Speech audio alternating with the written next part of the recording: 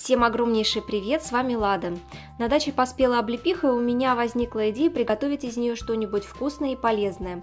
Поэтому сегодня я поделюсь рецептом очень простого в приготовлении напитка облепихового чая. А для этого рецепта нам понадобится, собственно, облепиха, мед, немного лимона и чуть-чуть имбиря, зеленый чай, заварочный чайник, где я все буду заваривать, вода, чеснокодавка, чтобы справиться с имбирем, и толкушка, чтобы справиться с облепихой. В каких пропорциях я буду использовать эти ингредиенты, я подробнее написала в описании под видео, так что заглядывайте туда. Начинаю я с того, что вскипячу воду в чайнике.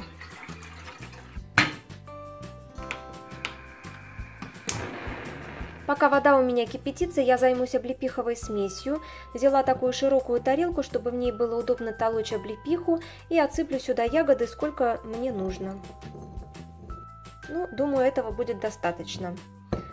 Беру толкушку и начинаю толочь. Я взяла вилку, чтобы помочь себе в этом процессе, потому что толкушка не справляется со своей задачей полностью.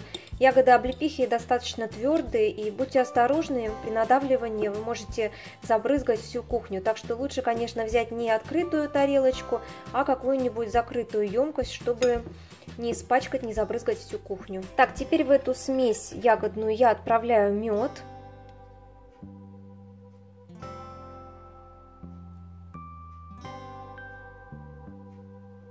Перемешиваю все.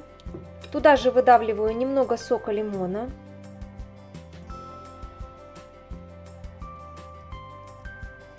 И в чеснокодавке выдавливаю имбирь.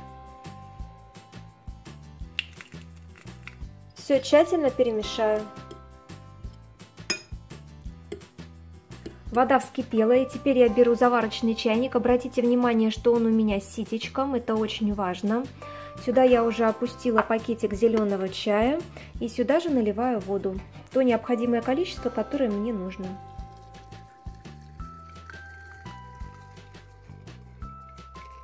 Оставляю зеленый чай завариваться где-то минут на 20 на 25. Прошло приблизительно полчаса и зеленый чай немного остыл и теперь туда пора опускать облепиховую смесь.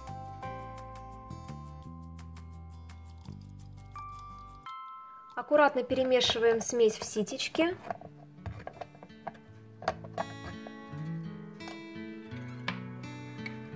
И даем немного настояться.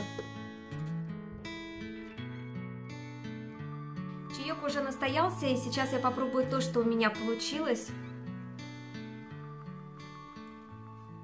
Ммм, Получился невероятно вкусный напиток. Единственное, что я бы добавила туда чуть-чуть побольше имбиря, так как я очень люблю имбирь, люблю острые чаи. Для меня такое количество имбиря, которое я туда положила, явно недостаточно. Но это, как говорится, на любителя.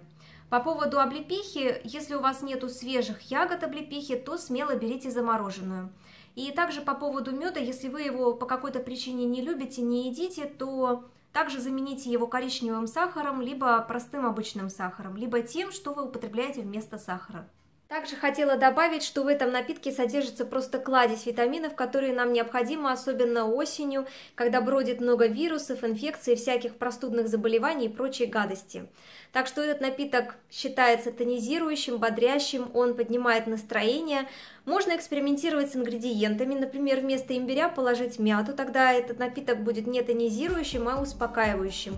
Не бойтесь экспериментировать, не бойтесь менять ингредиенты и приятного аппетита!